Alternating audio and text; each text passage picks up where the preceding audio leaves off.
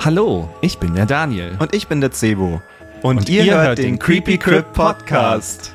In der heutigen Creepy Classics Folge geht es um Mary Shelleys Frankenstein aus dem Jahr 1994. Außerdem erfahren wir, warum Cebo das gesagt hat. Wir reden hier nicht über Entzug.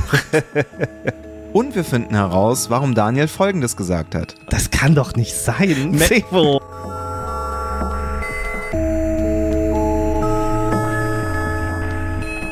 Und damit herzlich willkommen zurück zum Creepy Crypt Podcast. Ja, heute wieder Creepy Classics mit Mary Shelleys Frankenstein. Schön, dass ihr da seid. Das heißt, ihr habt uns gefunden, ähm, weil es gibt uns diesen Podcast natürlich überall, wo es Podcasts gibt. Und äh, wenn alles gut läuft, dann findet ihr jetzt auch alle zwei Wochen dort eine Creepy Classics Folge, weil wir äh, so viel Spaß daran haben, über alte Filme zu reden, dass wir ähm, das jetzt hoffentlich öfter machen können. Dementsprechend findet ihr hoffentlich alle zwei Wochen, also jetzt auch eine Creepy Classics Folge, dort, wo es unseren Podcast gibt. Also bei Spotify, Apple Podcasts und alle anderen Anbieter auch. Und äh, wenn ihr witzige Fun Facts oder andere Sachen erfahren wollt zwischendurch, dann könnt ihr uns auf unseren Instagram- und Facebook-Account folgen. Das, da heißen wir Creepy Crypt Podcast. Da gibt es auch manchmal ganz tolle Gewinnspiele. Und äh, ansonsten haben wir auch einen Letterboxd-Account, der heißt einfach nur Creepy Crypt Pod, äh, weil Cast hat leider nicht mehr hingepasst. Und ähm, wenn ihr dann irgendwie noch Feedback habt oder so, dann könnt ihr uns auf all diesen Kanälen schreiben, Instagram, Facebook oder eben auch einfach eine E-Mail an kontakt@creepycrypt.de und dann ähm, können wir das vielleicht in der nächsten Folge äh, vorlesen oder ihr schickt eine Sprachnachricht über Telegram, da sind wir nämlich auch und äh, dann würden wir uns sehr, sehr freuen. Und ähm, ja, jetzt starten wir mal mit diesem ähm, Creepy Classics über Mary Shelleys Frankenstein. Es ist der komplette Titel. Ähm, es ist ein etwas älterer Film. Und wir zeigen, äh, wir sprechen heute über diesen Film, weil heute ist nämlich Frankenstein-Tag. Yay! Ich zelebriere das schon seit einigen Jahren, aber es kam leider noch nicht so ganz an. Deswegen dachte ich, dieses Jahr benutze ich diesen Podcast und wir machen eine Special-Episode über einen Frankenstein-Film. Ähm, und deswegen habe ich ich Cebo gezwungen, diesen Film zu gucken. Wie fandest du ihn denn? Ich fand ihn ganz okay. ich muss dazu sagen, ich glaube, ich habe noch nie in meinem Leben einen Frankenstein-Film geguckt. Ich glaube, es war mein erster. Ich habe noch nie einen einzigen Frankenstein-Film geguckt. Das nicht, war mein. Nicht mal den mit Boris Karloff? Keinen. Keinen. Das war mein erster. Okay, aber du hast sicherlich irgendeinen Film gesehen, der so auf Frankenstein basiert oder so. Und Nein, ich habe noch nie einen Frankenstein-Film geguckt. Das ist mein erster. Das kann doch nicht sein. Sevo. also, wenn es jetzt keine so äh, Anspielung oder Frankenstein-esk irgendwie ist, wo jemand Leichen wieder erweckt, dann habe ich noch, ich habe noch nie einen Film gesehen, wo Viktor Frankenstein als Person auftritt. Was, ist, was ist mit diesem, oh mein Gott, jetzt muss ich die alle, äh, helft mir, ähm, schreibt ihr mal die Frankenstein-Filme, die ihr vielleicht gesehen haben könnte. Ähm, aber I Frankenstein gab es ja auch mal. Vic, es gibt einen Film, der ist Victor Frankenstein auch mit. Nein, nein ich nichts dergleichen. Wow, okay, dann war es ja mal an der Zeit. Kanntest du die Geschichte überhaupt? Äh, ja, ja, klar, wer kennt die nicht? So, das ist ja das Ding. Jeder kennt die Story und dann frage ich mich, warum sollte ich mir da noch 100 Filme angucken? Also, das hat sich einfach nie ergeben. Vielleicht Weiß aber ich nicht. Du hast auch nie das Buch gelesen, oder? Doch. Das schon. Ah, ja. okay. Du hast das Buch gelesen, aber nie einen Film geguckt. Interessant. Also ich bin ja riesiger Fan von diesen Universal Monster Filmen ähm, und dementsprechend habe ich davon natürlich äh, alle gesehen und da natürlich tausendmal auch Frankenstein. Sogar vor ein paar Jahren mal im Sommerkino. Ähm, ist auch nicht so wichtig, aber ja. Okay, naja, cool. Dann, wie, fand, wie fandest du ihn denn? Ähm, äh, naja, also es ist so eine komische äh, Beziehung zwischen mir und dem Film. Ich kenne den halt schon von voll früh irgendwie. Ich weiß nicht, wie der in mein Universum geraten ist, aber ich habe den auf VHS gehabt und habe den, glaube ich, früher eine Million Mal geguckt und ähm, weil, keine Ahnung, ich halt so, so die leichte Art von Horror mochte und das ist ja auch so in diesem Zeitraum, wenn Bram Stokers Dracula rauskam und das ist ja auch ein fantastischer Film und deswegen finde ich den eigentlich ganz toll und ich jetzt, nachdem ich, ich habe ihn ja ewig lang nicht gesehen, jetzt wo ich ihn wieder gesehen habe, dachte ich nur so, ja, das ist eigentlich ähm, meiner Meinung nach ein bisschen unterbewertet. Ähm, ich, ich würde auf jeden Fall empfehlen, ihn einmal anzugucken. Ich meine, der Cast ist ja auch unglaublich. Also ich meine, Kenneth Branagh, der ist ja, macht ja Regie und äh, spielt Victor Frankenstein. Aber Robert De Niro ist das Monster, Helena Bonham Carter ist äh, Love Interest von Kenneth Branagh, Ian Holm spielt seinen Vater, John Cleese spielt äh, mit. Also ähm, es ist, da gibt es noch tausend andere Namen, die man nennen könnte.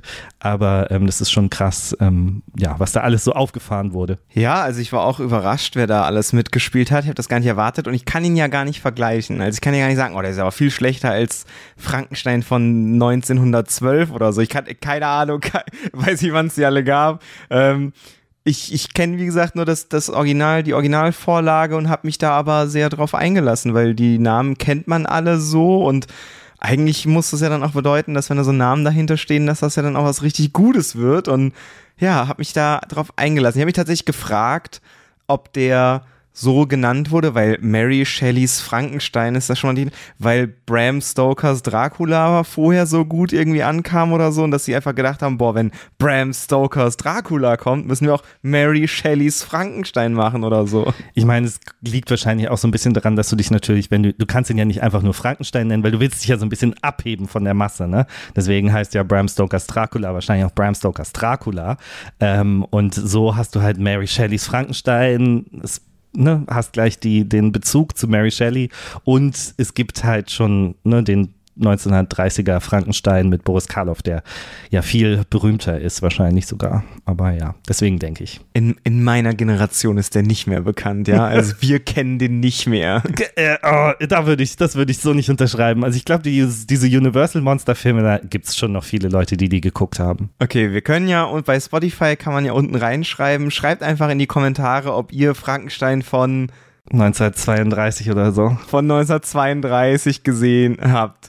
Äh, interessanterweise, bevor wir dann in den Film so ein bisschen einsteigen, ähm, habe ich noch gelesen, dass äh, die Person, die das ähm, Skript geschrieben hat, also das Screenplay, gesagt hat, ähm, das ist das beste Skript, was ich jemals geschrieben habe und der schlimmste Film, den ich jemals gesehen habe. Also ja, es ist interessant. Der ist tatsächlich ähm, nicht so gut bewertet im Internet. ähm, was ich, wie gesagt, nicht verstehe, aber ich glaube, bei mir ist es halt so, ist es so diese Nostalgiebrille, die ich aufhabe, weil ich den früher super gerne geguckt habe. Aber eigentlich ist der schon ganz gut gemacht. Kannst du mal erzählen, für die Leute, die überhaupt keine Ahnung haben, wer dieser Frankenstein sein soll? Also für dich? Für mich, falls ich ihn noch nicht gesehen hätte, um was es denn in Mary Shelleys Frankenstein geht. Ja, also, im 18. Jahrhundert ist Viktor Frankenstein von dem Gedanken besessen, künstliches Leben zu erschaffen. Nach dem Tod seiner Mutter verlässt er seine Heimatstadt Genf und studiert Medizin in Ingolstadt, wobei er sich besonders für die Vorlesungen von Professor Waldman interessiert.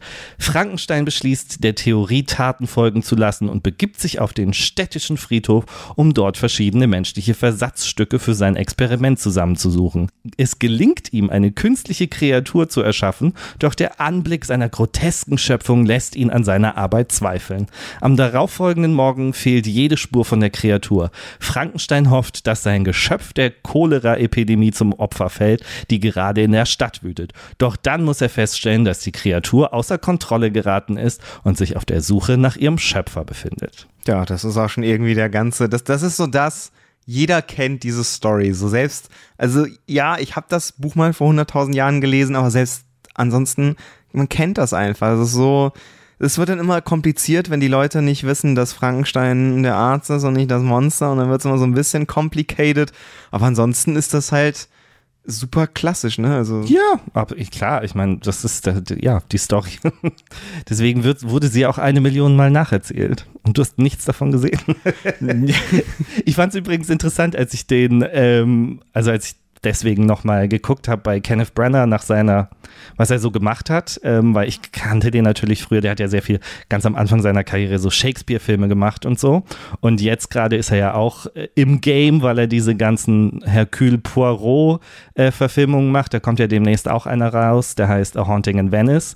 Ähm, und da ähm, führt er auch Regie. Äh, und aber was ich nicht wusste, und ich war so unglaublich überrascht, und jetzt, das geht raus an alle Marvel-Fans, die das wahrscheinlich wissen, ähm, der er hat den allerersten Torfilm, da hat er Regie geführt. Das hat mich immens überrascht, weil ich nicht verstanden habe, was er da macht. Aber ja, klar, warum nicht? Was, was soll er gemacht haben? Sein, seinen Job wahrscheinlich. Ja, aber dass die, dass die Marvel Kenneth Brenner geholt hat, um das zu machen, weil der hat jetzt nicht irgendwie so Blockbuster bis dahin gemacht. Deswegen hat es mich so ein bisschen gewundert. Aber er hat in Harry Potter mitgespielt und das qualifiziert einen ja auch irgendwo.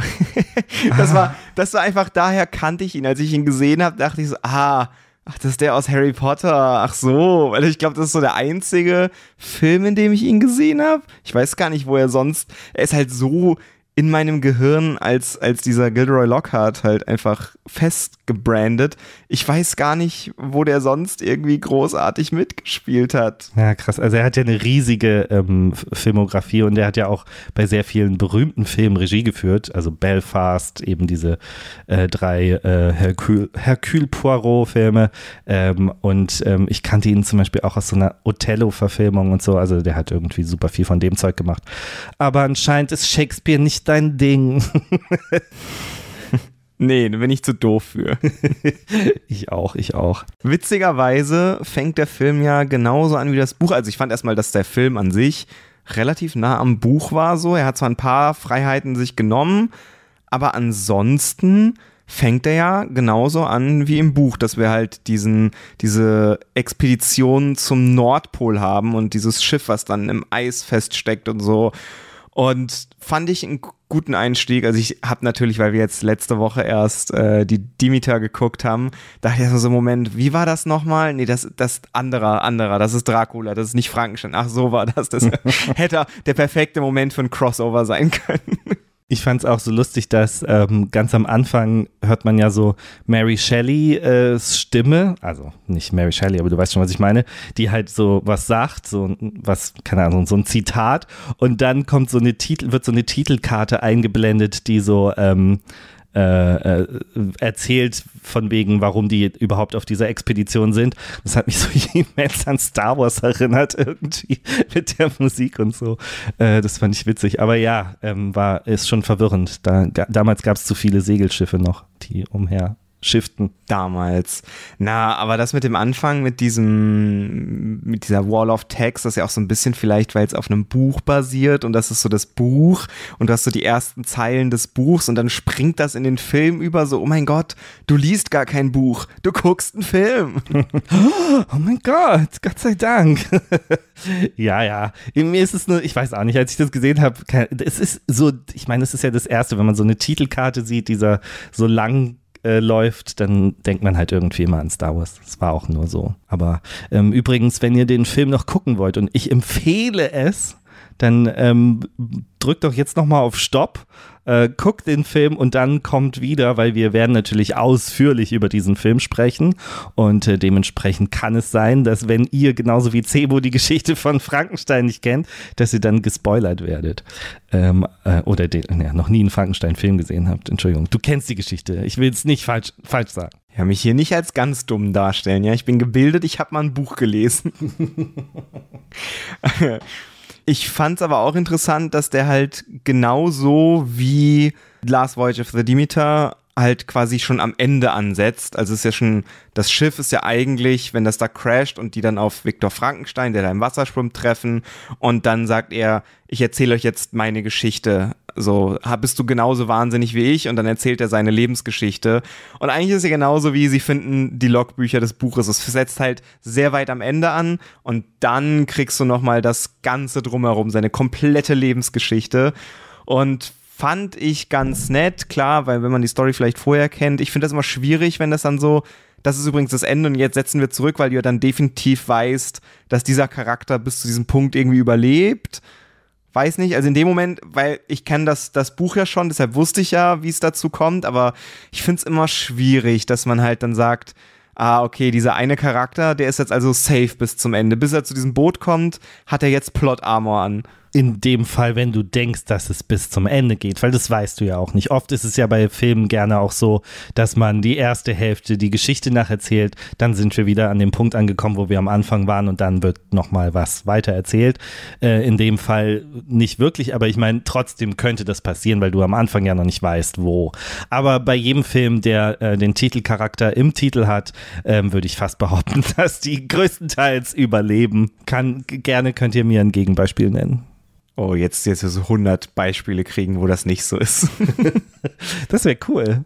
ja, aber ich, ich fand das auch ganz cool, halt dieses ganze, ich weiß nicht, ich mochte das Setbild einfach von diesem Schiff im Eis und vielleicht, weil ich The Thing sehr mag, weil es auch im Eis ist und so und ich einfach das alles, diese, diese karge, Nichts, dieses karge Nichts einfach fand ich, fand ich einen sehr stimmigen Einstieg, weil du dann auch so schemenhaft so eine blutige Hand siehst, die irgendwo über so ein Eis greift und so eine Figur im Hintergrund, die wegrennt und du auch schon so weil du halt den Titel kennst, du denkst, oh, jetzt, jetzt geht's los, jetzt, jetzt kommt das Monster und schnetzelt hier und dann, ja, kriegst du die Geschichte erstmal von Viktor Frankenstein erzählt. Ja, gut, dass du das sagst, weil ähm, ich meine, das greift jetzt sehr vor, aber am Ende sehen wir das Schiff ja nochmal und da sieht es nicht ganz so gut aus. Also von den, ich sag jetzt mal, Effekten, wenn man das so nennen möchte. Ähm, aber das war natürlich eine komplett andere Zeit. Ich meine, 1994, so viel äh, CGI gab es da ähm, noch nicht. Deswegen. Ja, der Film hat auch nächstes Jahr dann sein 30-jähriges Jubiläum. Oh mein Gott, total verdient.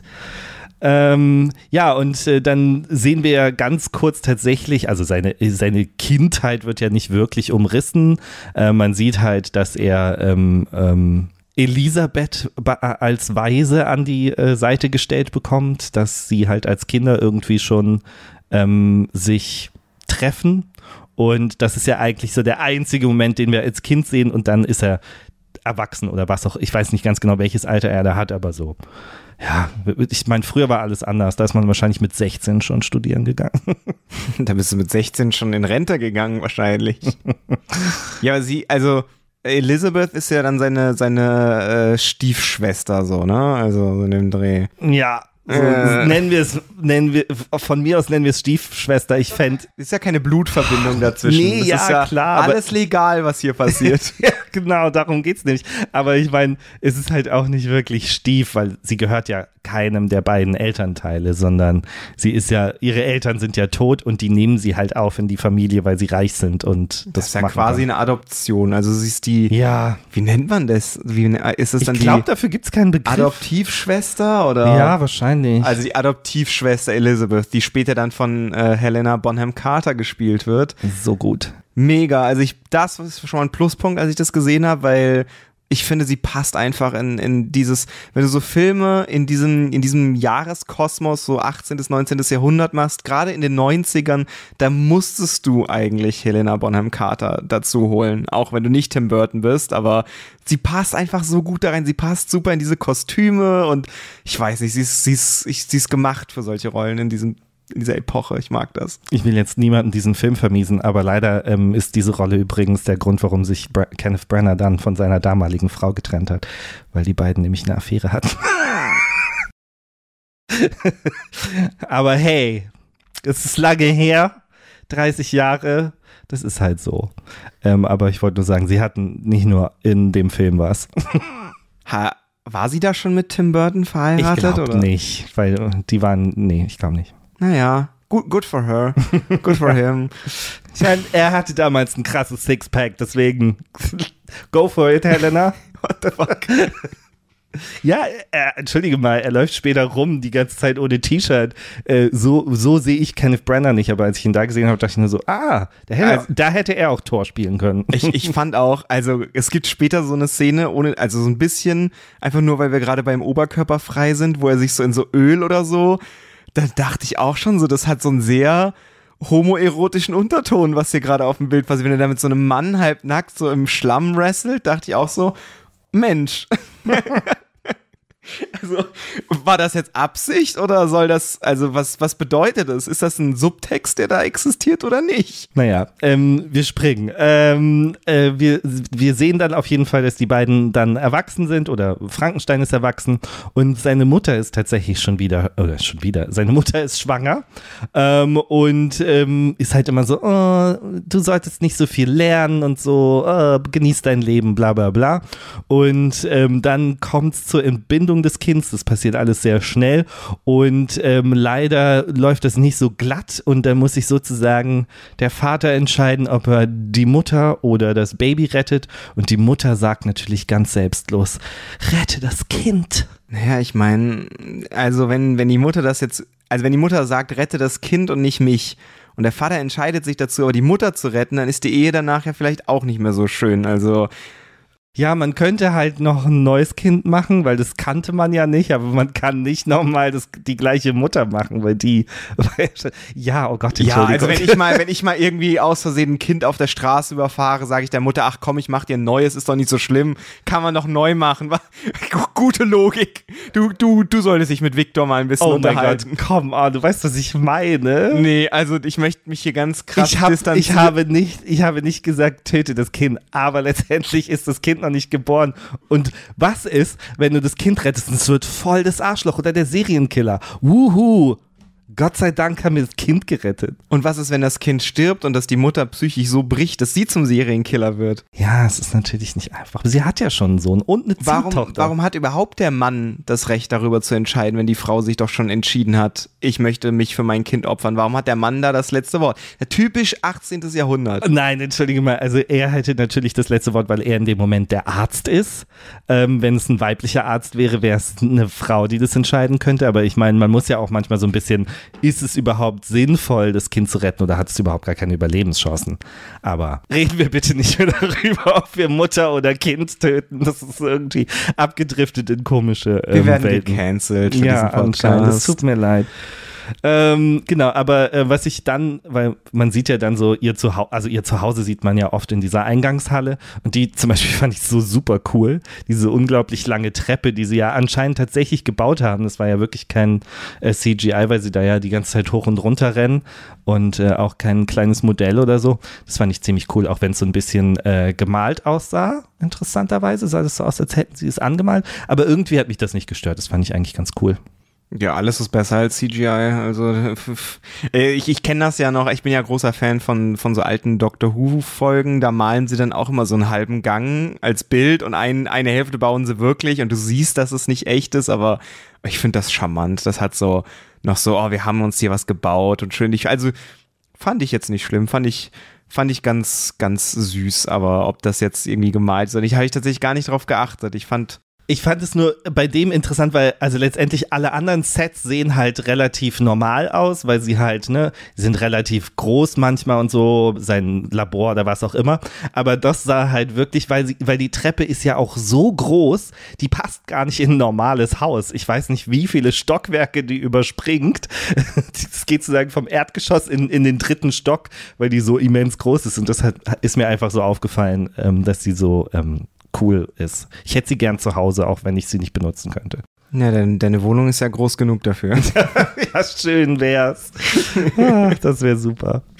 Ähm, naja, aber die Mutter ist dann tot, äh, das Kind ist gerettet, ein weiterer Junge. Und ähm, wegen dem Tod seiner Mutter hat er sozusagen den Plan gefasst, weil er will ja Medizin studieren, dass er den Tod auf der Welt ausrotten möchte. Scheiß Tod, ja. Er schwört auf das Grab seiner Mutter, er wird einen Weg finden, den Tod zu besiegen.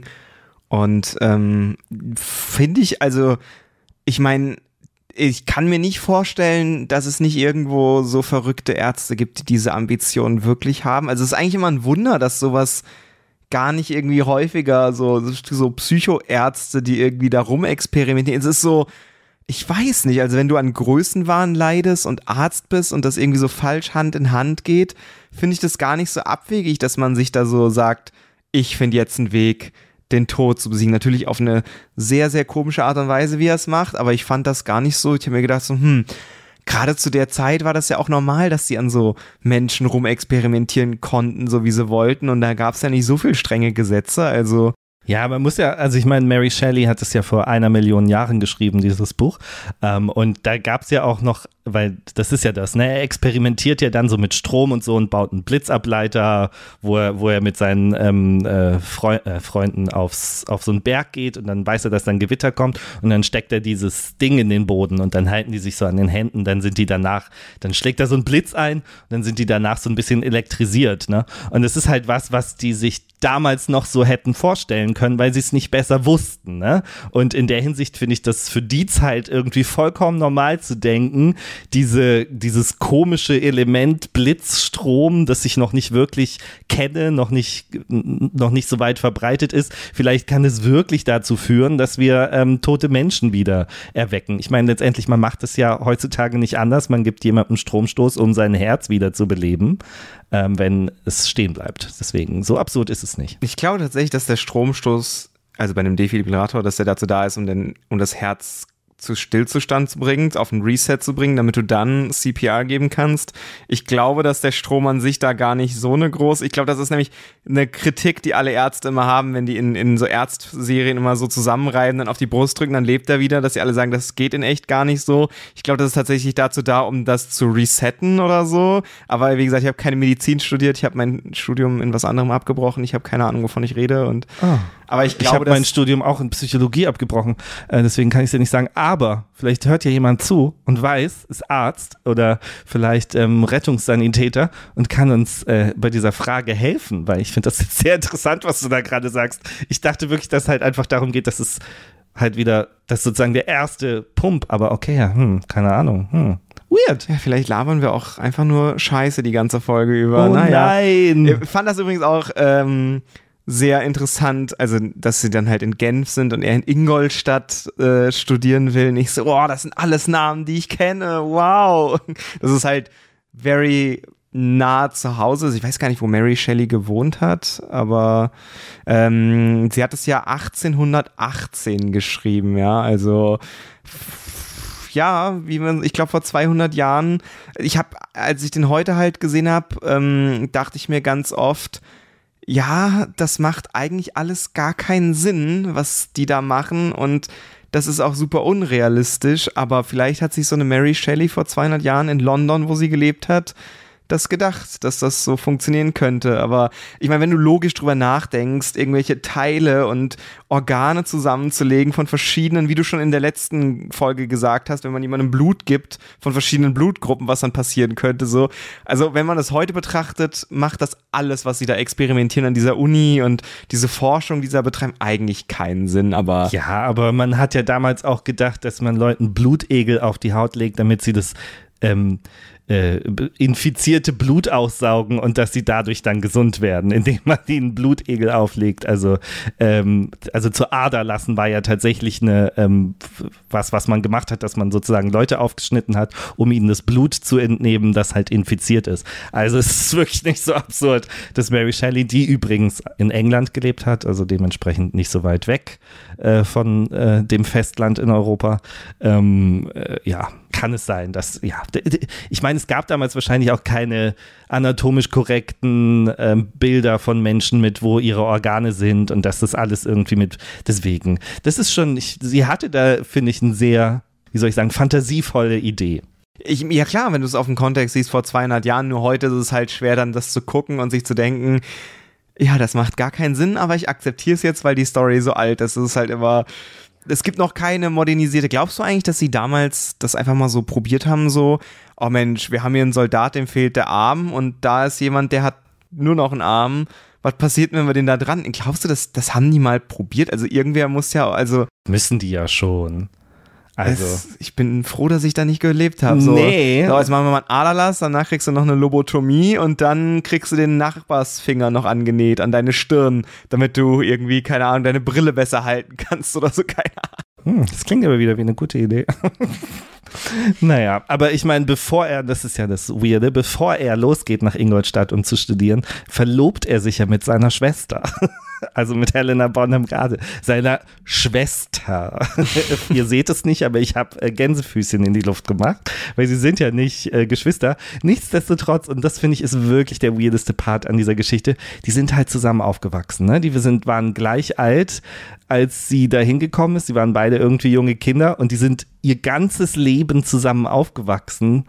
Und am Ende also und dann kommen sie zusammen. Mm, nee, könnte ich nicht. Könnte ich einfach nicht. Ja, ich, ich habe auch mal einen Korb bekommen von einem Mädel, weil sie meinte, ich kenne dich schon seit dem Kindergarten. Ich kann jetzt nicht mit dir. Und ich so, oh Mann. Ja, aber die haben halt im gleichen Haus gelebt, die werden den gleichen Lehrer zu Hause gehabt haben. Weißt du, die haben halt so viel Zeit miteinander verbracht. Das wäre wirklich und das kann sich ja jetzt jeder vorstellen, als würde man seine Schwester heiraten. Es wäre einfach genauso, weil sie sind aufgewachsen wie Schwestern, also wie Geschwister. Das Einzige, was sie trennt, ist nicht das gleiche Blut. Ich meine, Albert Einstein hat seine Cousine geheiratet, also. Ja, und Woody äh, Allen seine Adoptivtochter, aber das macht es trotzdem nicht okay. ja, ich fand's auch weird. Vor allem, ich kann mir vorstellen, wenn man nicht so ganz zuhört bei dem Film und dann hört man nur noch My Sister und Mary und dann so, hä? Also, man muss da schon in den ersten Minuten aufpassen, damit man das mitkriegt, dass die keine Blutsverwandten sind. Ja, aber trotzdem. Ich meine, es ist immer noch Helena Bonham Carter in ihren besten Jahren. Weiß ich nicht. Weiß ich nicht. Also, weiß ich nicht. Ja, nee, klar. Also ich habe ja ich sage nicht, dass Helena Bonham Carter nicht attraktiv ist und dass er deswegen nicht auf sie stehen kann. Aber wie gesagt, könnt ihr euch vorstellen, mit eurer Schwester zusammenzukommen? Was ich nicht. Was ist das für eine Folge? In den ersten zehn Minuten sagst du, ja, wenn so ein Kind stirbt, ist ja nicht schlimm, man kann ein neues machen. Und jetzt fragst du unsere Zuhörer, ob sie ihre Schwester heiraten wollen. Vielleicht gibt es irgendjemand, der ja sagt. Stell dir das mal vor. Nein. Ähm, ja, aber so wäre es ja, ne? Ich, also wir sehen ja, wir sehen ja tatsächlich nicht, wie die beiden zusammen aufwachsen, aber trotzdem müssen wir davon ausgehen, weil sie sich so innig verstehen, dass es doch irgendwie eine naja, er geht nach Ingolstadt zum Studieren und lässt sie erstmal zurück. Aber sie sind ja jetzt verlobt, deswegen ähm, sind sie sich versprochen. Und in Ingolstadt äh, lernt er ja dann auch Leute kennen, die so ein bisschen auf seiner Wellenlänge sind, was ähm, Menschen retten oder den Tod auslöschen angeht.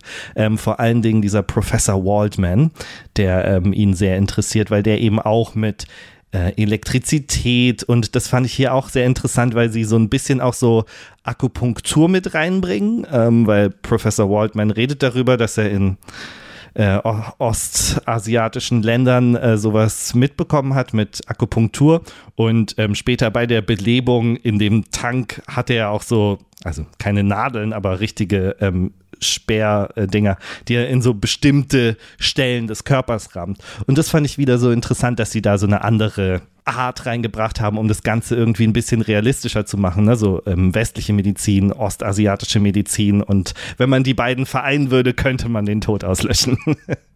Genau so, ja. Muss man auch dazu sagen, Dr. Waldman oder Waldmann, weil es ist ja in Ingolstadt, er heißt Man mit einem N, wird ja auch gespielt von John Cleese, den ich in diesem Film wirklich gar nicht erwartet habe. Also Und auch nicht erkannt habe, auch wenn ich es weiß. Nee, ich hab's dann auch auf Letterbox habe ich dann gesehen, so, warte mal, das ist John Cleese, hä? Also der habe ich überhaupt nicht kapiert, wie, wie der da, oder wie sie ihn gefragt haben, so, hey, du machst doch so, so Lustiges. Hast du mal Lust, bei Frankenstein mitzuspielen? Du bist doch alt. Der wird sicherlich wie alle anderen äh, Comedy-Legenden ähm, auch irgendwann mal versucht haben, ernste Rollen zu spielen, weil das machen die ja alle. Es hat ja auch, ähm, wie heißt der, Truman. Jim Carrey. Jim Carrey wie gemacht. Electrician oder sowas war das, wo der den Cable Guy, nee, wie hieß er denn? Dieser Cable Guy hat ja, er, ja. Ja, genau. Das war aber keine ernste Rolle. War jetzt aber auch nicht der lustigste. Nee, Film. aber Truman. Ja, ja, okay, aber, aber ich fand, anyway, da ja. äh, können wir mal anders drüber sprechen.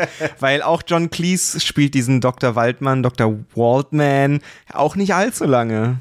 Nee, nee. Ähm, wir sehen noch so ein bisschen, ähm, wie er äh, tatsächlich Experimente macht. Also man sieht ja irgendwie mal so eine Affenpfote, äh, die er ähm, zum Leben erweckt, indem er da so ähm, Strom reinschießt und dann greift er diesen einen Typen an, an der Kehle und so.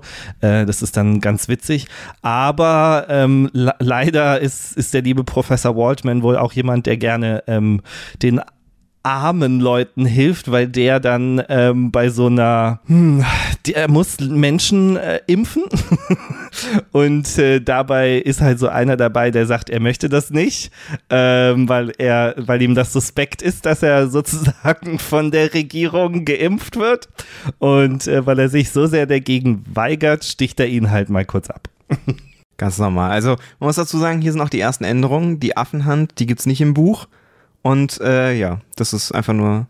Ich glaube, das ist so ein, natürlich so ein bisschen Showmanship. Ja, ja, natürlich. Aber ja, da dachte ich auch, ich habe hab dir ja auch gleich eine Telegram-Nachricht geschrieben. Ich so, boah, krass, in Frankenstein sind Impfgegner, weil ich dachte so, wow, das ist das, also, ja, fand ich nur interessant, weil ich kann mir halt auch vorstellen, ich meine, das, die haben ja gesagt, dass Impfungen noch gar nicht so lange überhaupt erforscht worden sind und das also ein komplett neues Konzept ist und also ich weiß nicht, ob ich mich in so einer Scheune da, wo sie da sitzen, also es ist ja kein Scheune, sondern kein schönes Gebäude so. äh, ich glaube, ich wäre auch sehr skeptisch gewesen. Ja, das ist ja auch, kann man auch wirklich nicht vergleichen. Ich meine, da gab es keine Zeitungen, kein Fernsehen, die Leute wussten nicht, was da passiert. Das kann natürlich sein. Vor allen Dingen, der war ja auch ein bisschen gaga. Übrigens, der ist ja, da ist es ja auch schon Robert De Niro. Das ist ja äh, Robert De Niro, der den Typen spielt, der ihn umbringt, ähm, der ja deswegen dann auch äh, verurteilt wird und äh, gehängt wird, weil er natürlich jemanden umgebracht hat.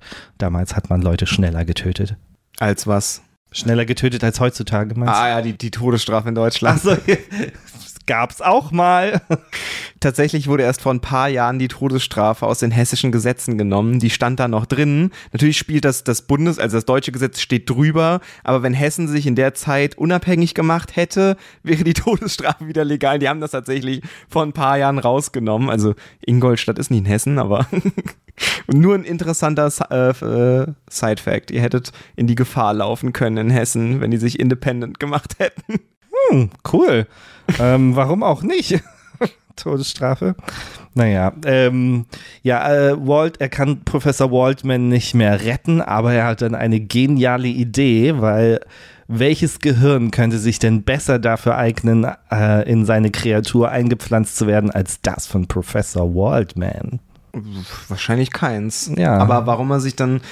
Also, ich habe Robert De Niro auch erst gar nicht erkannt. Ich weiß nicht, woran es lag, aber er heißt ja auch nur dann, also in den Credits heißt er Sharp-Faced Man. Ähm, hab ihn tatsächlich gar nicht erkannt. Ich habe ihn erst erkannt, als er dann da auf dem Tisch lag und zusammengestöpselt wurde. Aber ich meine, für jemanden, der so in der damaligen Zeit lebte, wussten die denn schon, dass so viel im Gehirn gespeichert ist? Oder, also ich weiß gar nicht, wie die Perception halt vor 200 Jahren vom Gehirn war. Waren die sich schon bewusst, dass das so ein Informationszentrum ist oder weiß ich tatsächlich gar nicht. Ich bin noch keine 200 Jahre alt, ich kann es dir leider nicht sagen. Ja, aber du bist ja kurz danach geboren worden. Ja, kurz danach, aber das, da war es dann einfach schon anders. aber auch interessant, weil das ist auch wieder eine Änderung zum Buch. Im Buch wird nie, glaube ich, gesagt, woher die Leichenteile hat, also ich kenne es ja auch vorwiegend aus ähm, Frankenstein mit Boris Karloff und da ist es auch, dass sie halt auf den Friedhof gehen und das alles ähm, ausgraben und dann zusammen äh, nähen. Da ist es halt nochmal anders, weil das ist dieser interessante Fakt hier, fand ich auch, bei der äh, alten Frankenstein-Verfilmung will er eigentlich so ein cooles äh, Gehirn nehmen, also so ein gut von einem guten Menschen. Ähm, das fällt ihm dann, also Igor, dem Helfer von Frankenstein, fällt es dann halt runter und dann muss er so ein Gehirn von so einem Schwerverbrecher nehmen. Also in dem Fall wäre es dann sozusagen das Gehirn von Robert De Niro äh, in dem Film, aber das passiert hier nicht. Äh, das fand ich auch interessant, aber das ist wahrscheinlich komplett nicht wie, äh, äh, also komplett überhaupt nicht im Buch erzählt, welches Gehirn genommen wird. Tatsächlich ist die Verfilmung von 1931 die erste, wo aufgegriffen wird, wo die Leichenteile herkommen. Das war vorher einfach so ein Ding. Im Buch hatte er die dann auf einmal und dann waren sie halt da. Damals hat man einfach auch leichter Leichenteile bekommen. Du bist die Straße runtergelaufen. Ach, guck mal, da liegt einer, den nehme ich mit. Ich meine, wenn du dir den Film anguckst, du siehst ja diese ganzen äh, Massenszenen, wo du dann auch so Leute in der Straße liegen siehst, die halt an Cholera gestorben sind und so. Also ich bin echt froh, dass ich jetzt lebe und eben nicht auf meinem Weg zur Arbeit so fünf, sechs Leichen auf dem Weg irgendwie sehen muss oder so. Ich, also ich bin froh, dass mir dieser Anblick so weit erspart geblieben ist in meinem Leben, dass ich noch nie einen toten Menschen sehen musste. Ah, also in Person. You're jinxing it right now. Ähm, ja, äh, was ich dann übrigens auch ziemlich cool fand, war, also halt all diese kleinen Details, die sie dann reinbringen, wie er sozusagen, was er alles nutzt, um ähm, diese, diese Wiederbelebung herzustellen, weil, ne, ich hatte ja schon Akupunktur genannt und so, aber halt auch, dass er Zitterale benutzt, fand ich irgendwie cool dass, dass er da so einen riesigen Tank mit Tieren hat, die er dann da so reinschüttet. Und, und da weiß ich nicht ganz genau, was er da so ganz genau benutzt. Man sieht ja auch mal, wie er bei so einer Hebamme so ein Gefäß mit irgendeiner Flüssigkeit kauft, die gerade bei einer Frau abgenommen wurde, die äh, eine Geburt hat und so. Also, aber halt, weißt du, so ein bisschen so, ne, so, keine Ahnung. Ich fand es dadurch irgendwie so ein bisschen realistischer, dass sie so viele Komponenten reinbringen, die dazu führen, dass man einen Menschen menschlichen Körper wiederbeleben können, kann. Ja, also er nimmt sich aus sehr dubiosen Quellen seine Sachen zusammen und baut sich da jetzt nicht unbedingt den perfekten Menschen zusammen. Ich finde auch, also er schafft es ja dann auch, dieses Wesen zum Leben zu erwecken. Dann kommt diese sehr homoerotisch angehauchte Szene, wo dieses Monster so nackt ist und er oben ohne und die rollen so im, im Öl rum oder dieser Flüssigkeit und beschmieren sich da und er fand ich schon so ein bisschen, also hat mich schon dann so, also ich weiß nicht, ob es da einen Subtext gab, ob das irgendwie was bedeuten sollte irgendwie, weil ich weiß es nicht. Ich fand das aber schon ich fand, es war so ein, äh, so ein netter Gegensatz, weil also die und später gibt es nochmal eine Spoiler, ähm, Szene, wenn er sozusagen alleine ähm, alles zusammensucht, ne? Weil er muss ja, er schiebt dann dieses Ding dahin und diese Kette und dann lässt er ihn hoch und dann muss er da und das ist ja alles sehr dynamisch und halt sehr gut, finde ich, kameratechnisch umgesetzt, wie wir ihm so die ganze Zeit folgen, während er so äh, oben ohne äh, durch dieses heiße Labor läuft. Ähm, und das fand ich halt irgendwie sehr dynamisch und weil er dann auch auf diesem Ding steht und dann guckt er durch das Fenster, dann gehen die Augen auf und dann ähm, fällt dieser, dieser Tank um und er weiß gar nicht, ob es geklappt hat oder so. Und dann kommt halt auch dieser, das weißt du jetzt natürlich nicht, weil du den Film nie gesehen hast, dieser ikonische Satz, It's Alive. Ja, aber den kennt man auch so. Den kennt Ach, man. Plötzlich. Den kennt man. Ich weiß, ich mache auch, ich, ich verarsche dich nur. Ich mache nur Spaß. Aber trotzdem äh, wird dieser Satz auch eingebaut, ne? Und dann gibt es halt sofort danach diese relativ lange Szene, die so still und ähm, ruhig ist, weil er dann halt diesem Typen irgendwie hilft, überhaupt zu stehen, weil er das irgendwie noch nicht hinkriegt, weil er gerade eben erst in Anführungsstrichen wiedergeboren wurde. Und ähm, deswegen fand ich das eigentlich ganz cool, weil es davor so dynamisch dynamisch ist und dann halt so, ja. Ja, es war eine gute Szene. Also ich fand die auch gut. Natürlich muss man hier auch wieder sagen, das Monster von Frankenstein sieht hier anders aus als in der Buchvorlage. In der Buchvorlage hat das so sehr sichtbare Adern und schwarzes Haar und wird als sehr irgendwie so mit Gelbsucht oder so beschrieben, dass, sie, dass das Fleisch total gelb ist und hier hast du halt Robert De Niro mit ein paar Narben und einer Glatze, so, also vor allen Dingen die Narben heilen ja auch ein bisschen im Laufe des Films bis zum Ende hin. Deswegen fand ich das eigentlich auch. Es ist halt nicht so ganz verständlich, warum er so viele Narben im Gesicht hat, weil das, also ich, ich habe hab jetzt nicht das Gefühl gehabt, als hätte er da verschiedene, also er hat verschiedene Teile des Gesichts zusammengenäht, weil er hat ja auch unterschiedliche Augen ähm, genommen, aber es ist halt trotzdem immer noch irgendwie Robert De Niro und ich verstehe nicht, warum er die eine Seite von dem Gesicht und die andere Seite von dem Gesicht nehmen musste. Das hatte für mich so ein bisschen den, ja, keine Ahnung. Ja, vielleicht musste er irgendwas aufmachen, um ans Gehirn zu kommen oder so. Ich weiß es und nicht. Und dann hat er ein anderes Gesicht daneben genäht. Vielleicht war das aber auch schon angefangen zu verwesen oder die Hunde haben es gefressen oder da war Cholera auf der. Ha ich, also ich finde es tatsächlich noch absurder später, aber ähm, da komme ich dann nochmal dazu, wenn ähm, wir bei, an der Stelle des Films angekommen sind. Ich finde ab dem Punkt, weil Viktor Frankenstein merkt ja dann, dass er seine Kreatur so grässlich findet und deshalb will er sie dann wieder töten. Hat er sie die ganze Zeit, während er sie zusammengebaut hat, nicht mal angeguckt, dass er die jetzt so grässlich und abscheulich findet? So, du hast die doch zusammengenäht. Du weißt doch, wie das aussieht. Hä? Ich glaube, es ist tatsächlich eher die, dass es funktioniert hat. Also er hat halt vorher einfach diesen Körper gehabt, der da lag und gehofft, dass es geklappt hat. Und jetzt steht er halt da und ist halt auch so ein bisschen needy. Also er, ne, er ist halt so, äh, Hilfe. Und ich weiß auch nicht, ich glaube, das, ja, ist halt, ich, ich fand es auch, ich meine, er hat ja wirklich immediate regrets. Also ist so, ah, das ist mein Monster. Oh, fuck, nee, danke. das ist echt weird, aber ja. Ähm, naja, ich meine, ja, vielleicht, vielleicht hat er auch ein bisschen Angst, weil, ja. Vielleicht hat er sich ja auch erhofft, dass das Ding dann den Intellekt des Dr. Wald, Wald weil wie auch immer Woodman hat und dann hat er gemerkt, das ist so, ein, so, eine Kreatur, die nicht mal sprechen kann. Es ist eine Perversion des Lebens und vielleicht kam da der Regret, aber am Aussehen kann es ja nicht gelegen haben. Finde ich übrigens auch sehr gemein, dass das Monster immer wegen seines Aussehens so gemobbt wird und dass die Leute so direkt auf 100 gehen. So, da sterben die Leute an Cholera. Ich weiß nicht, wie Leute aussehen, die an Cholera sterben, aber dass die dann so gemein immer sind, ist schon echt fies. Aber darum geht's ja. Ich meine, diese ganze Stadt ist ja unter Quarantäne, weil es diese Cholera-Epidemie gibt. Hat wohl nicht so funktioniert mit dem Impfen. Ähm, und als er dann danach auf dem Markt ist, weil er natürlich flüchtet aus diesem Labor, weil Victor sich einsperrt, ähm, und äh, wenn du dann halt jemanden siehst, der komplett irgendwie entstellt aussieht und du nicht weißt, wie sich Cholera vielleicht tatsächlich auswirkt, weil du eigentlich noch nie einen Cholera-Toten sehen konntest, weil dann bist du ja selbst wahrscheinlich mit Cholera infiziert, ist es schon irgendwie verständlich dann zu sagen, äh, das ist der Typ, weswegen hier alle sterben. Also Leute finden gerne einen Grund, ähm, der einfach ist, anstatt den komplizierten Grund äh, äh, wahrzunehmen. Das ist ein sehr weiser, weiser Satz, den du hier gesagt hast. Ich meine, er hat ja auch diesen, diesen ähm, Code, diesen Umhang dann da, diesen, wie heißt denn das auf Deutsch? Ich weiß nicht, was, was Code auf Mantel? Deutsch. Mantel, danke. oh, das ist so schwer, manchmal Deutsch zu sprechen. Aber er hat ja dann diesen Mantel an damit, den hat er ja dann auch den ganzen Film über an, diesen, diesen braunen Mantel irgendwie, der sieht Geiles ja auch Teil. schon, der sieht ja auch schon so ein bisschen ominös aus, ne? Also, ja, schon. Ja, ist die Frage, warum äh, Viktor Frankenstein überhaupt diesen Mantel bei sich rumhängen hatte, weil ich glaube nicht, dass der ihm passt. da wächst er vielleicht noch rein.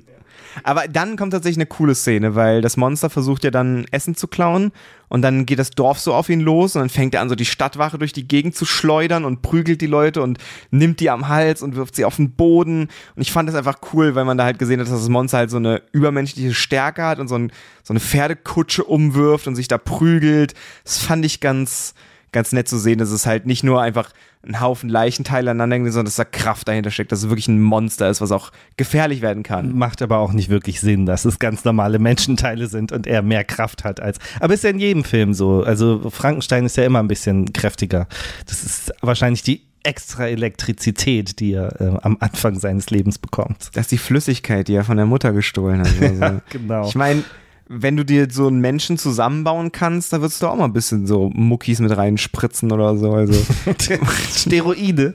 Weiß ich ja nicht, aber ich fand die Szene an sich einfach cool zu sehen, wie so ein sehr vernarbter Robert De Niro da sich mit der Stadtwache auseinander prügelt und dann so am Kämpfen ist. Es war, hat das Ganze noch ein bisschen aufgelockert dann, weil ist halt Film aus so einer Zeit, wo die sehr viel reden und dann so, ich fand einfach so den jetzt so ein bisschen Action zu sehen.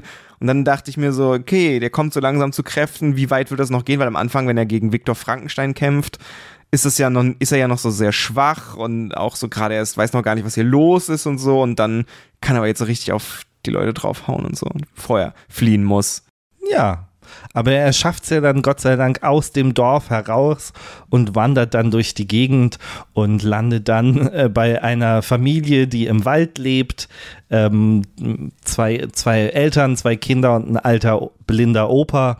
Ähm, wo er dann seinen Unterschlupf sucht, indem er sich äh, in dem Stall oder in der Scheune bei denen versteckt, die irgendwie zwei Meter groß ist und trotzdem entdeckt ihn nie jemand. das, fand ich, das fand ich sehr witzig bei diesen Szenen, weil er, er macht ja dann sehr viele gute Sachen für die, weil das der, äh, der Boden, den sie bearbeiten müssen, der ist sehr hart und sie kommen an ihre Ernte nicht ran und er reißt es halt einfach raus, weil er so stark ist und dann ist am nächsten Morgen einfach so äh, die ganze Ernte vor ihrem äh, Haus und sie gucken sich das an und du siehst halt im Hintergrund, wie er so in diesem Fenster der Scheune sitzt und sich nicht mal groß versteckt, sondern einfach nur sein Gesicht zeigt. Ich denke nur so, come on, der, dieser Riesentyp, der super starke Riesentyp, versteckt sich da hinten in der Scheune und nie sieht ihn einer von euch. Okay, Leute. Was dazu sagen, weil ich hier der Buchexperte bin. Im Buch ist die Familie nur bestehend aus Vater und zwei Kindern. Die sind deutlich kleiner. Da schafft das vielleicht, sich noch zu verstecken, aber bei fünf Personen ist schon schwierig. Und da wird ja dann auch so ein bisschen. So, da wird so ein bisschen gezeigt, dass Frankensteins Monster ein, ja, eigentlich eine gute Seele hat und der schon fähig zum Guten ist und die Kritik dann eben auch so ein bisschen klarer wird, dass die Gesellschaft durch die negativen Einflüsse auch das Gute in einem Menschen zerstören kann und so ein Kram halt, ne? ja. Äh, ja, ähm, ja, das ist schon, ich habe hab damit auch gar kein Problem. Ich meine, man merkt ja auch, das ist, finde ich, im äh, 30er Jahre Frankenstein vielleicht nicht so krass, ähm, dass der wirklich eigentlich noch so eine Art Baby ist und irgendwie sehr, sehr ähm, nett und freundlich, wenn ihm nett und freundlich begegnet wird, ne? Weil ich meine, er trifft ja auch den blinden Opa dann tatsächlich irgendwie mal so ein bisschen im Wald und die reden so und weil er das nicht sieht oder beziehungsweise er fasst ihn ja auch an, ist er auch irgendwie nett zu ihm und ähm, aber die Familie ist dann halt scheiße zu ihm, wenn sie ihn dann entdeckt, weil sie halt nur seine entstellte Gestalt sehen. Und ähm, das ist natürlich schade, aber da lernt man auch so ein bisschen, ich meine, er, er lernt ja währenddessen durch das Tagebuch, das er in dem Mantel mit hat von Victor, äh, lesen, weil er sich sozusagen, das erklärt er ja später so ein bisschen, dass alles, was er früher konnte, er dann auch irgendwie wieder zurückerlangt, äh, diese Fähigkeiten wie Flöte spielen oder eben lesen oder so, ähm, weil das alles noch irgendwo in ihm gespeichert ist. Das ist ja eigentlich auch ein, ein ganz netter Aspekt in dem ganzen Film. Ja, aber wie du schon sagtest, vielleicht denken sie ja, der Mann hat Cholera und äh, verjagen ihn deshalb. Nee, aber ja, das ist halt wieder so ein, ein Moment, wo halt gesagt wird, oh, der ist voll gut, aber die Leute akzeptieren seine Gutheit nicht, weil sie ihn anhand seines Aussehens beurteilen. Never judge a book by its cover. Man darf das niemals machen und das ist so, das ist eigentlich die ganze Moral hinter dieser Geschichte, dass du, okay, eigentlich nicht, aber in dem, in dem Kontext, weil man kann auch so ein bisschen Moral und äh, Kontext in dem sehen, was Viktor Frankenstein da macht, irgendwie mit, mit Loslassen, Verlust, Akzeptanz und Grenzen. Aber so seine Story ist ja, man muss muss sich auf Dinge einlassen und sie eben nicht nach dem Aussehen bewerten, sonst gäbe es diesen Podcast ja auch nicht, weil. Don't judge a book by its cover. Das habe ich gerade eben gesagt. Aber ich habe dich auch gerade subtil hässlich genannt. Also. ähm, nee, ja, äh, ich, was ich lustig fand, war, dass die Familie innerhalb von zwei Sekunden, die da dieses Haus verlassen kann, weil die entdecken ihn ja dann und scheuchen ihn weg und sagen, wir müssen jetzt los. Und dann kommt er irgendwie so fünf Minuten später wieder zurück und dann ist die Familie schon weg. Äh, das fand ich äh, sehr witzig, aber naja, währenddessen hat sich übrigens Victor ähm, wieder mit äh, Elisabeth vereint, äh, weil ja, die, die äh, er ja bereut hat, dass er überhaupt dieses Experiment gemacht hat und er geht jetzt wieder zurück und der, das Monster liest in dem Tagebuch, es kommt endlich zum Ende und liest, er ist ein failed experiment. Also ein, äh, er, er, ist ein gescheitertes Experiment äh, und ähm, dann beschließt er, sich zu rächen und äh, macht sich auf den Weg nach Genf, wo Victor eben jetzt gerade wieder mit Elizabeth zusammen lebt. Muss man auch dazu sagen, Elizabeth besucht ihn ja einmal in Ingolstadt, das macht sie im Buch nicht. Ah ja, okay. Sie besucht ihn dann nicht. Ja, das ist auch, glaube ich, diese ganze, diese Geschichte, diese Nebengeschichte mit diesem besten Kumpel, den er beim Studium findet, die gibt es wahrscheinlich auch nicht, ne? Doch, aber im Buch sind die Kindheitsfreunde und er ah. will dann Philosophie studieren. Er studiert gar nicht Medizin und diesen Kram, sondern er will Philosoph werden und die kennen sich aber schon seit Kindestagen im Buch. Also da ist es auch nochmal eine andere Dynamik. Ich denke, die Szenen, die mit Elizabeth da mit reingebaut werden, sind vielleicht, um nochmal eine Betonung auf diese Liebe zu wirken, dass wir halt ein bisschen davon wegkommen, das sind ja so irgendwie kind of Geschwister ohne Blut, so, dass da irgendwas dahinter steckt und dass er was für ein Typ er ist, weil er ihr ja auch irgendwie so ein bisschen verspricht, er macht diese Experimente nicht mehr und dann Okay. Nee, ist mir nur, also weil dieser Typ äh, lustigerweise, also der beste Freund ähm, ist der Darsteller, der in Amadeus ähm, Mozart gespielt hat. Ähm, habe ich vor kurzem tatsächlich mal wieder geguckt, weil ich mich erinnert habe, dass es diesen Film gibt. Deswegen hab, kannte ich dieses Gesicht so extrem gut ähm, und habe mich gefragt, ob das da auch vorkommt, weil ja, Amadeus ähm, kann man gucken, muss man nicht. Hat, glaube ich, damals einen Oscar für den besten Film gewonnen. Ist aber auch nicht so wichtig. ja, Frankenstein hat keinen Oscar gewonnen. Nee, der hat, glaube ich, gar nichts gewonnen. Also das ist aber auch gemein dem Film gegenüber. Ich, wie gesagt, jetzt, wo ich ihn wieder gesehen habe, fand ich den wirklich gut gemacht und auch schön anzusehen. Aber irgendwie ist der damals nicht so gut angekommen. Ich hoffe, durch diese Folge gucken ihn jetzt ein paar Leute und sagen uns, ob sie ihn gut fanden oder nicht.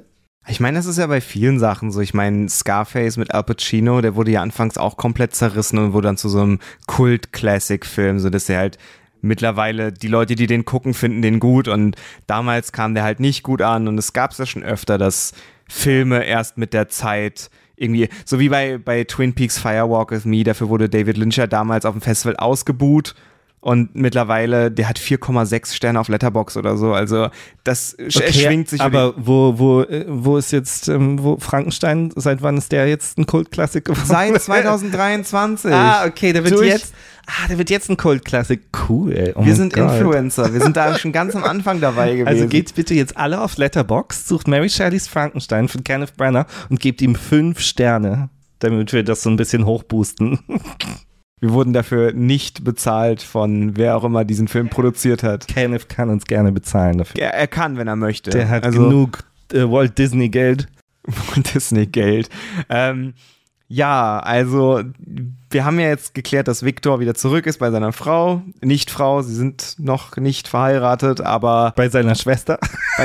Bei, bei seiner Adoptivschwester. Ja. Ähm, und das Monster ist auch mittlerweile in äh, Genf angekommen. Genau, weil es trifft dort im Wald nämlich auf den Bruder William, der so eigentlich keine große Rolle in diesem Film bis dahin gespielt hat, außer dass er geboren wurde und das Komplikationen gab und dann taucht er da nochmal auf. Und wir wissen aber auch, dass Elizabeth William sehr gerne hat. Also das wurde alle, auch schon etabliert. Alle lieben William. Alle. Ja. Ja. Ist ja auch klar, ich meine, es ist das kleine Kind, das äh, alle, der, logisch, dass alle den lieben. Und der verschwindet jetzt halt dummerweise. Und alle machen sich auf die Suche nach ihm. Dummerweise macht sich auch Justine auf die Suche nach ihm. Das hätte sie mal nicht machen sollen. Nee, das war wirklich nicht gut, weil ich glaube, Frankenstein glaubt zu diesem Zeitpunkt ja noch, dass das Monster tot ist. Er ist doch, glaube ich, in dem Glaube. Er hofft es. Er weiß es ja nicht, aber er hofft, dass dadurch, dass er abgehauen ist und die Cholera in dieser Stadt wütete, dass es gestorben ist, ja. Deshalb kommt es ihm auch komisch vor, als dann eben herauskommt, dass William nicht mehr am Leben ist und Justine dafür verantwortlich gemacht wird, dass sie das Kind umgebracht hätte. Aber er denkt sich gleich so, hm. Ja, weil sie, die finden doch auch dieses Amulett bei, bei ihr. Ja, ja, ja. Also sie hat sich da alle Karten verschossen. Sie hätte war kein guter Tag, um arbeiten zu gehen. Und auch wieder so ein super äh, guter äh, Punkt, wie man sieht, dass es damals ein bisschen leichter war, jemanden umzubringen, weil sie einfach nur so, die sind alle so, äh, du hast ein Kind umgebracht, wir sind davon überzeugt, wir äh, nehmen dich jetzt mit auf dieses, äh, auf dieses riesige Gebäude, wo unser äh, Galgen steht und werfen dich dann. Das ist eigentlich eine ziemlich coole Szene, aber es ist halt auch tragisch,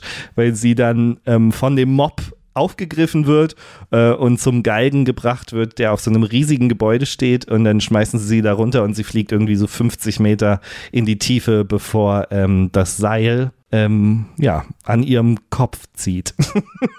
und äh, dementsprechend ähm, sehen das alle, weil sie auf dem Weg dorthin sind, aber sie können leider nicht verhindern, dass Justine gelün gelyncht wird. Ja, noch ein Fun Fact nebenbei: Die Todesstrafe wurde erst am 1. Juli 1950 verboten dort. Also hätte auch nichts gebracht, noch ein paar Tage zu warten. Das ist also echt, ich finde das immer so krass, wenn man so zurückdenkt. So Frankenstein, äh, wenn das im Jahr 1794 gespielt hat, da kaufe ich das ja noch ab, aber dass Leute in den 50ern noch die Todesstrafe hier in der Nähe bekommen haben. Krass, finde ich immer krass, diesen Gedanken. Das ist dann schon gar nicht mehr so weit weg. Es gibt ja immer noch Länder mit der Todesstrafe. Dementsprechend, ja. Und in anderen Ländern hat man auch ein bisschen länger noch gelyncht. ja. Aber ähm, letztendlich äh, wird äh, Victor der Tatsache gewiss, dass es das Monster gibt, weil er ihn natürlich trifft.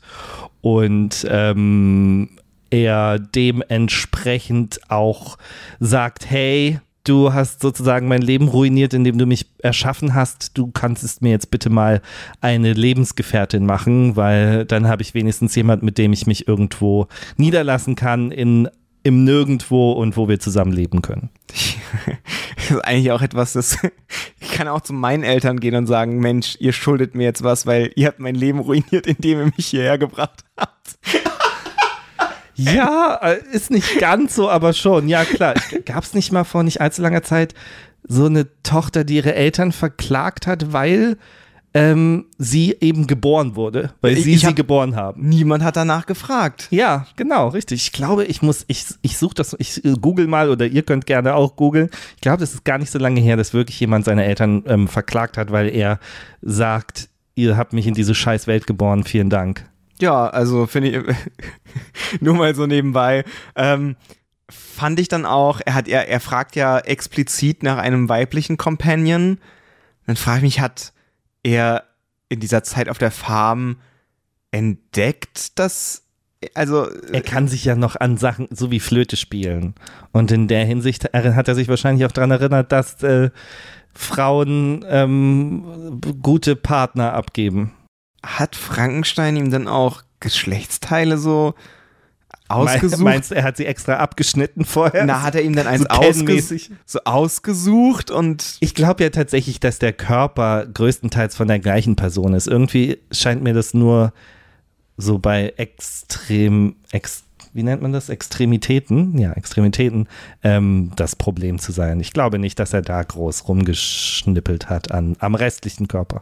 Ja, ich finde es nur interessant, dass er explizit nach einer Frau fragt, weil er ja dann wäre ja eigentlich egal, ob es ein Mann oder eine Frau ist, wenn er nicht irgendwie jemanden möchte, um. Aber naja, er, er sagt ihm ja auch, wenn du mir eine Frau machst, dann Alles la cool. lass ich dich in Ruhe. Dann Sind wir Best Friends, Best Buddies. hätte er ihm auch sagen können, bevor er William umbringt. So, hey, das ist meine. So, machst du das? Ich finde, das ist schon so ein bisschen so dieses, ey, guck mal, das ist erst der Anfang. Also mach mir jetzt eine Frau oder das war's. Weil ich meine, letztendlich, er ist sehr, sehr zurückhaltend, dass er das macht.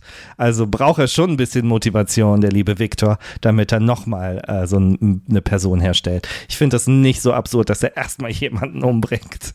Aber ja, er nimmt ja als Grundlage dann Justine.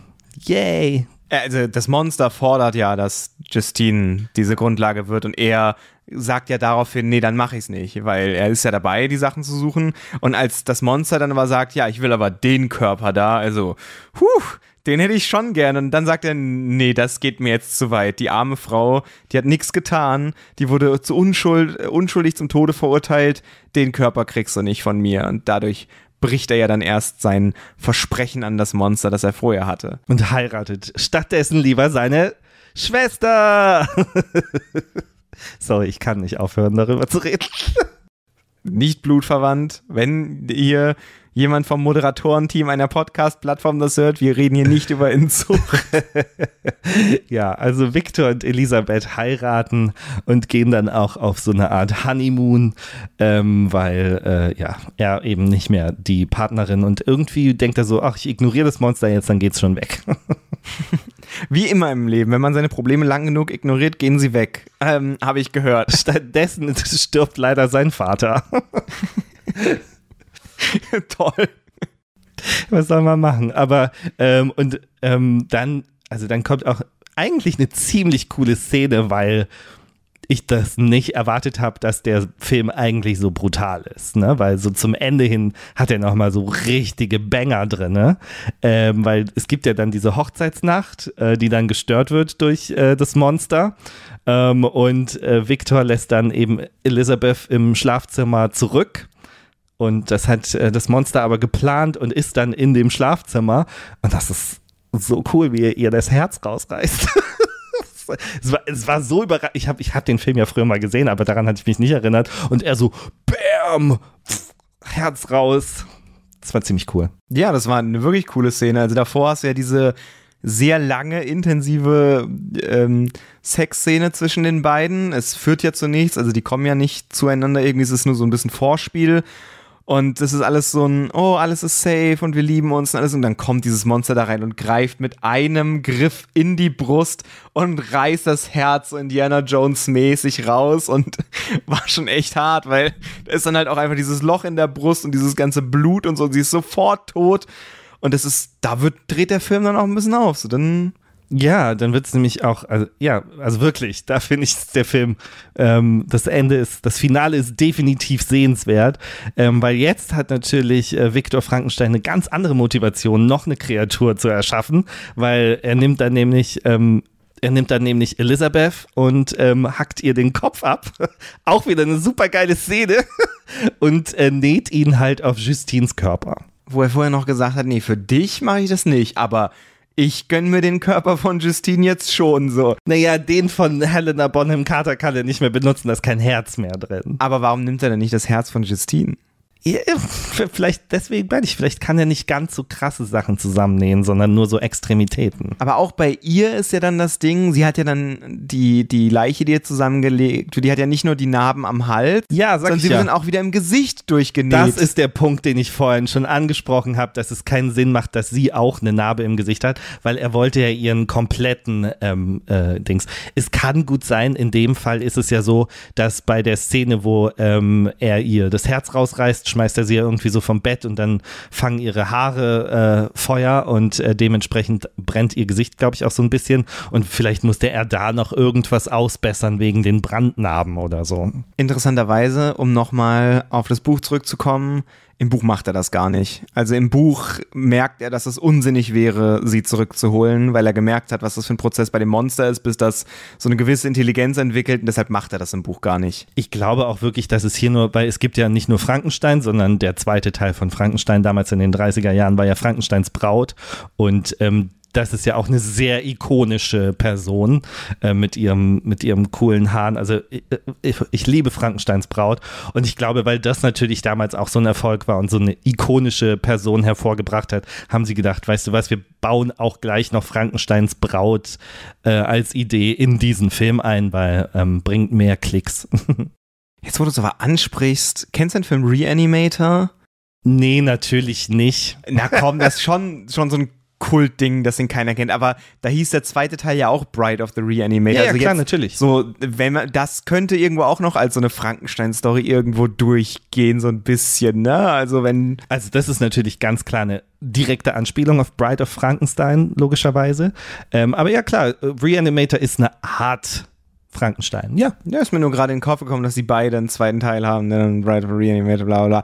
Wie dem auch sei, bringt er dann Elizabeth zurück, die nur noch ein Schatten ihrer selbst ist. Das Aber ist, auch wieder mit so einer coolen, oh, jetzt muss dieses Ding wieder dahin und uh, und ich mach den Tank auf und uh, und uh, und Blitze und diese Wiederbelebungsszenen sind ziemlich cool. Aber äh, ja, sie ist ähm, wie das Monster natürlich auch erstmal ein bisschen irritiert, dass sie wieder am Leben ist. Ja, und dann sagt er ja auch zu ihr, Elizabeth, sag mein Name, komm zu mir, ich bin's doch, sag mein Name und das Monster so, nein, komm zu mir, komm zu mir und dann entsteht da so ein Macho-Fight. Ey, so, ey, so, wenn er auch noch sagt, she's mine, also sie gehört mir, dann bin ich so, what the fuck, ähm, äh, mach mal ein bisschen hier äh, toxisches äh, Männerlevel runter.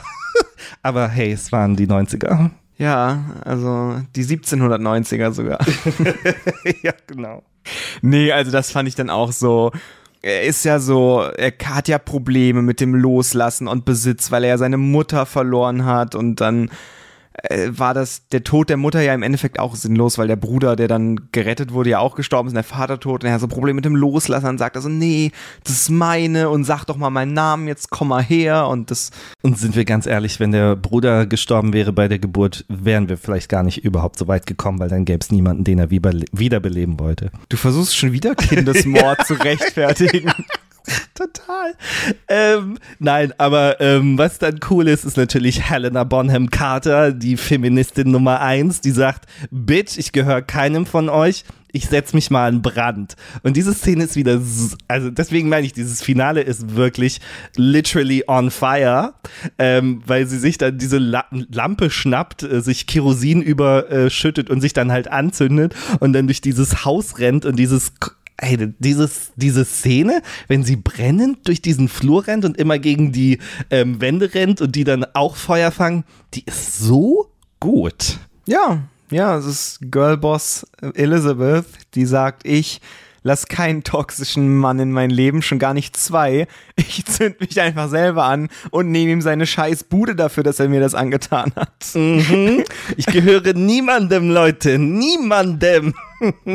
ja, also ich muss mal ganz kurz, ich hatte mal eine Deutschlehrerin, die hatte auch so einen Ex, der so ein bisschen toxisch war Und dann hat sie irgendwie Farbeimer in seiner Wohnung ausgeschüttet und gegen die Wand geschleudert. Und das hat sie mir im Deutschunterricht erzählt. Also sie war auch so Girlboss, so ich lasse mich von keinem Mann, ich ruiniere dir die Bude. Und das hat Elizabeth auch so gemacht. Die, hat ihm, die, die nimmt sich nicht nur selbst wieder raus, sondern nimmt ihm ja auch sein Haus weg. So. Richtig, sie hat es richtig gemacht. Das ist so, ja. Naja, also sie hat den Mut, den die Kreatur ja eigentlich nicht hat, weil sie ist ja echt nicht okay mit ihrer, mit ihrem Dasein und deswegen bringt sie sich halt um. Und ähm, dann sind wir wieder zurück auf dem Schiff. Ähm, wir sehen jetzt nicht, was dazwischen passiert, aber wir erfahren dann so ein bisschen, dass es dazu geführt hat, dass halt ähm, Wer folgt eigentlich wem? Er folgt dem Monster, ne? Ja, genau. Victor folgt dem Monster ja, genau, in, die, in die Antarktis, richtig, in den Nordpol. Genau, weil er ihn sozusagen von der Zivilisation vernichten möchte oder so. Und äh, wir sind dann zurück auf dem Schiff und die, seine Geschichte ist zu Ende. Und das ist der Punkt, wo Frankenstein stirbt.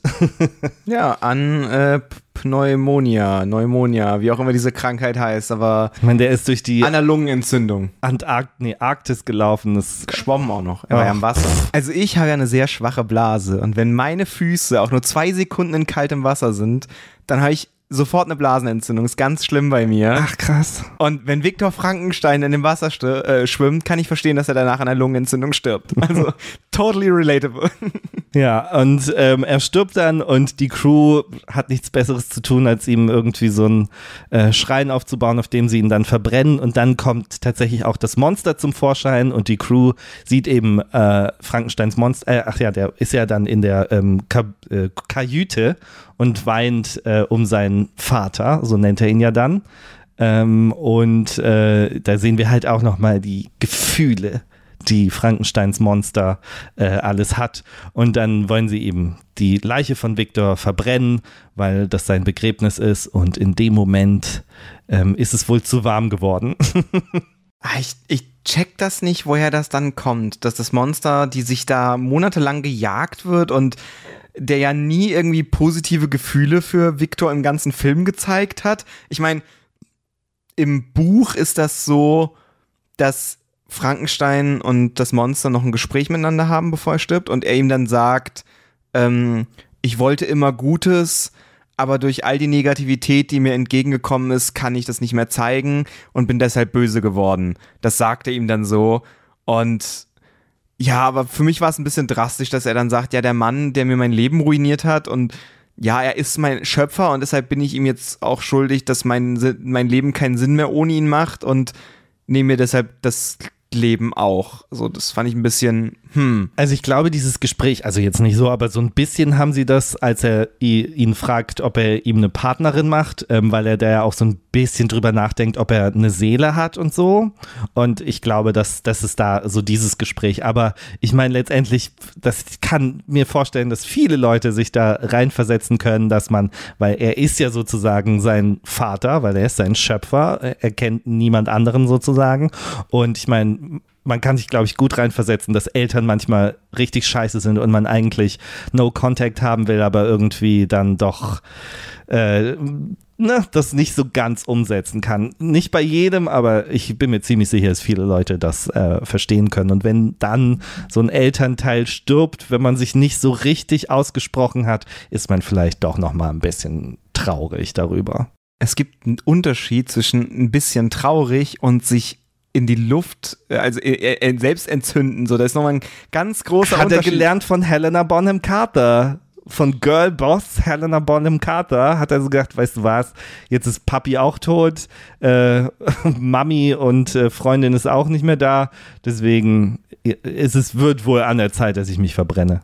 Okay, ja, also ist natürlich ein, ein, ein Ende, weil weiß nicht, ob das damals, hat man da mit offenen Enden gespielt zu der Zeit? Hätte sie jetzt geschrieben und dann kehrt das Monster zurück. Teil 2 kommt nächstes Jahr und dann das Crossover und dann kommt Origins und dann kommt Frankenstein Legacy und weiß nicht, ob das früher so ein Ding war oder ich, ich glaube nicht, vor allen Dingen, weil sie ja eigentlich die Möglichkeit, einen zweiten Teil mit Frankensteins Braut zu machen, gleich gekillt haben, dadurch, dass sie das schon eingebaut haben am Ende. Ähm, deswegen glaube ich nicht, dass das irgendwie eine Idee war. Und so hat man halt wirklich ein Ende, weil es kommt zu dem Begräbnis, ähm, die Schollen brechen auf, er schafft es auf das, äh, auf diese eine Scholle zu kommen, wo Viktor Frankenstein auf dem Holz ist und äh, zündet dann sich und äh, äh, Viktor Frankenstein an und ähm, dann brennen die beiden halt, während das Schiff, das jetzt endlich nicht mehr im Eis feststeckt, davonfahren kann und dann sehen wir ganz toll gemachte Bilder von dem Schiff, wie es wegsegelt.